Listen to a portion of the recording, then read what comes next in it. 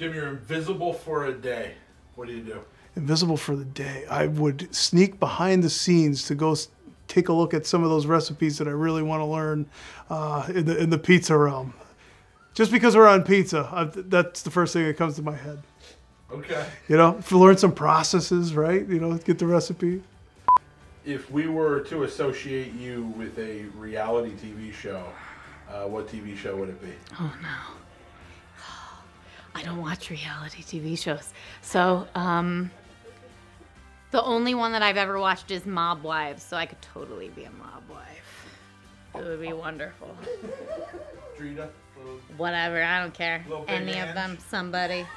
Uh, what is something that doesn't smell great, but you keep smelling it anyway? I feel like this is magazines.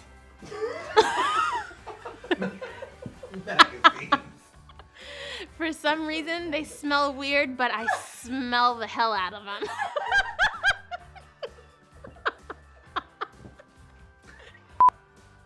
Eric, uh, you're on death row. Hmm.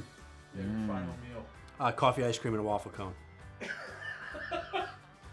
That was quick. No doubt. I, I am allergic to And where are dairy.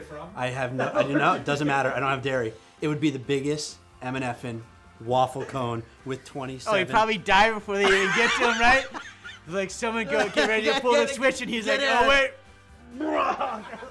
waffle cone with coffee ice cream. Breyers. Okay. Favorite concert you've ever been to? Uh, I'll give it a two-part answer. Uh, musically, Counting Crows at uh, Camden Waterfront. Wallflowers open for them, and Counting Crows best musically.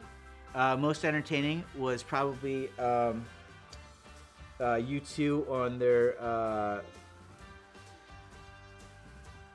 I remember the tour. They came out of a big olive. Franklin Franklin Field, Philadelphia. Uh, U2 was most entertaining, best music. Are you sure they came out of an olive? Yeah, it was an olive out of a martini glass. Oh, okay. Or, uh, it might have been a lemon. It's the same. They're both drinks, right? It was like a martini glass. Oh my gosh! You have to look back. I gotta Google Lemon? that. Or an olive. I'm going olive. Final answer. I think it was like a martini glass with like an olive that came out of. Oh, I could be making up all of this. Oh, totally. Did you even Listen. go to a U2 concert? I did go to the U2 concert in like '96, Franklin Field. Oh god.